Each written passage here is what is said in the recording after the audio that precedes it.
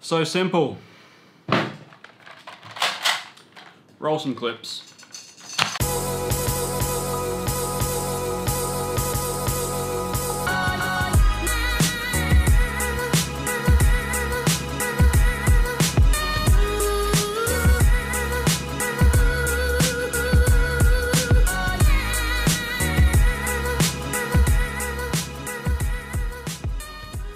Good morning.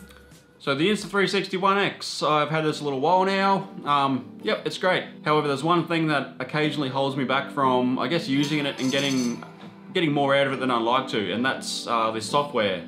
Both softwares. Uh, now photos, photos are easy. You just reframe it how you want on your phone and export it straight out of there into, say, Lightroom or like most time I just use Snapseed and it works fine.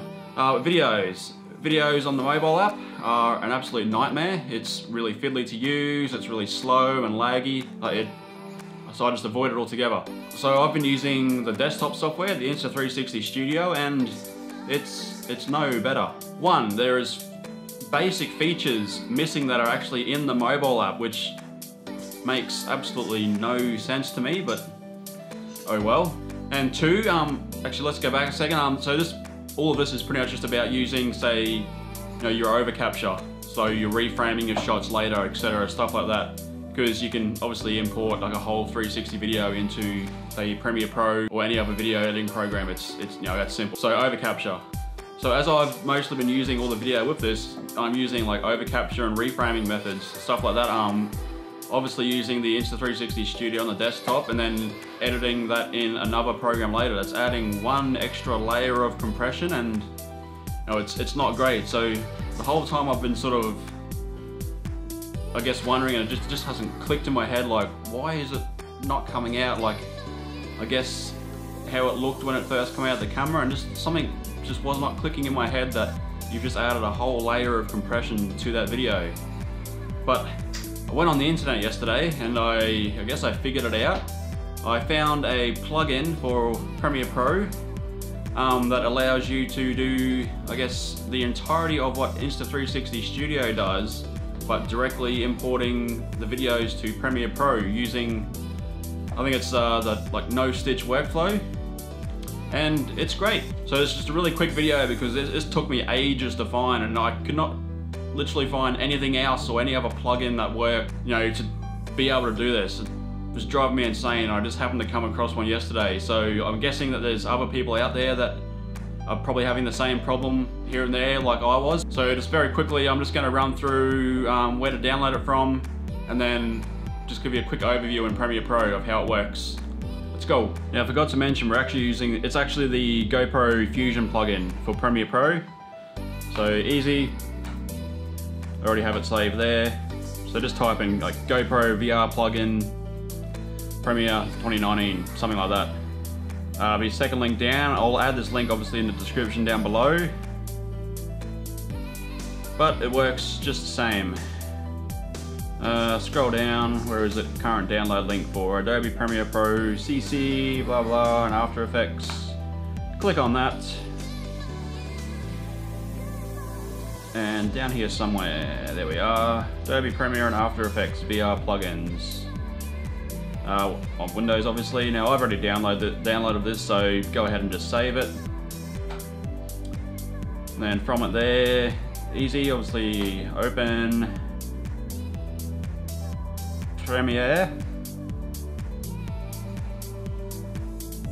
Okay, so we're in Premiere Pro. Now I should also add, now I've just saved this in the background somewhere. I've saved it here like GoPro VR plugin, there it is. You have to um, actually double click on it, go through the steps to, I guess, allow it to activate.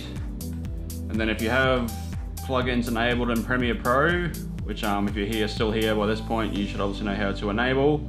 Um, it'll, it'll pick it up automatically. So I've got just my clip in there, so you just grab one. As when you're rendering, it'll actually uh, stitch it for you in the background. It's a little bit gray as I recorded that clip in log. Let's get rid of the audio. And then it's as simple as this. Go to the effects panel. God, this is running slow. type in GoPro uh, VR. Have a couple options here, Horizon, oh straight in Horizon, uh, GoPro VR reframe, drag that onto it, and it'll open up on the side here. And then here we have all our controls, look at this.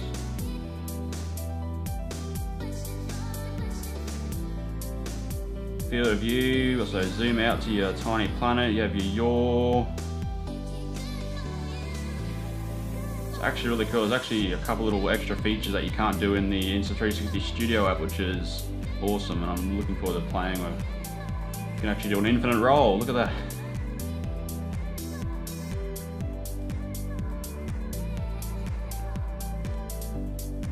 And then obviously if you wanna, you know, pinpoint it to different angles, etc., you're can add your keyframes. I'll just add one for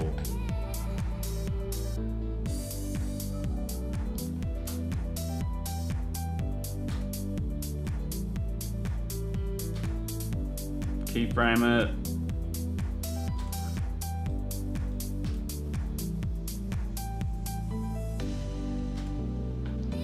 I'll just do something fun. This actually kind of simulates, I guess, what you can do with with a gimbal really. There we are, done.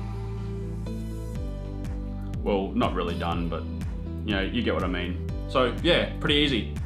Like I said, just a really quick video, um, just surely there's someone out there that was having the same issue I was, so just just removes one, an extra step, so it saves time, and also, you know, you're cutting out that extra layer of compression.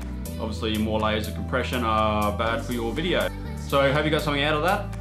Uh, that's it for this one. I'm not sure what we're playing next. The weather's pretty crappy outside, hence why I'm in the office. But um, yeah, think of something anyway. Might take Finlay out for a walk somewhere and I don't know, we'll figure something out.